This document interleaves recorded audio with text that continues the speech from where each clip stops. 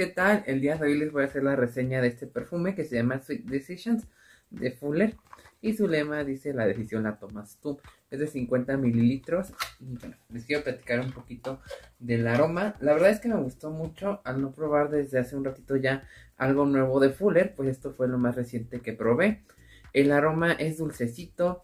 Destaca mucho la nota como de flores.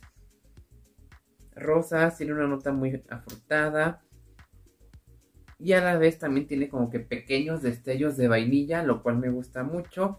La vainilla que maneja Fuller no es tan sintética, entonces en los perfumes que yo he probado de Fuller que contienen la nota de vainilla, pues me ha gustado mucho su desempeño.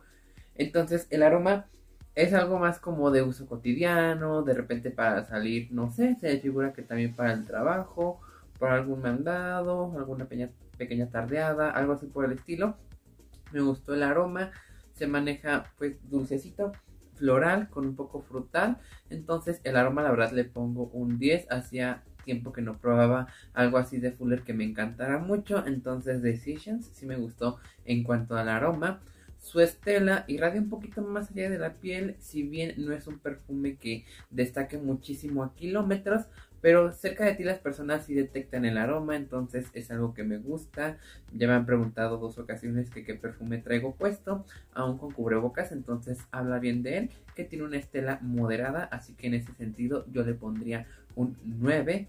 Y amiguitos, otro punto que me gustó mucho es la fijación. Por ejemplo, ahorita que me lo puse, ya se impregnó bien en mi piel siempre plus extra para mí aquellos perfumes que se impregnen bastante bien en la piel. Me agrada, habla muy bien de ellos y sobre todo pues ya saben que depende del pH de cada persona en su duración. Pero en fijación yo la siento bien, le pondría también un merecido 9.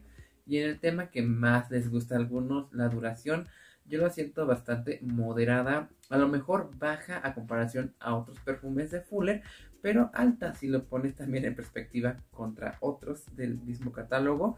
Siempre hay como que esos pros o en contras de que hay perfumes que duran más aún siendo de la misma campaña de Fuller, hay otros que duran menos. También súmenle, recuerden mucho que depende cada pH, o sea, nuestro pH es el que designa también qué química va a tener el perfume porque de repente a mí me han comentado como de, oye José, es que a mí me dura más que lo que tú dices, o oye José, a mí no me dura tanto. Pues sí, es por eso mismo, aunque ustedes lo pongan de repente en la piel este, o en su ropa, a veces va a tener mayor o menor duración, pero porque es realmente la química que tiene el perfume contigo. Y yo siempre les digo como una perspectiva de lo que yo he vivido con el perfume. Así que en particular yo lo siento como una duración moderada, máximo unas 4 horas, 4 horas y media y después de ahí te vuelves a retocar. No me sentí que se duró como 6 horas, o sea, realmente depende, hay ocasiones en las que los perfumes como que sientes que se vuelven a activar, pero si yo hablo de un promedio, 4 o 4 horas y media a más tardar y después de ahí lo vuelves a retocar y está rico. Por eso es que les decía que puede ser como que para algo más ligero, para una salida, que vas al centro, que vas al mandado.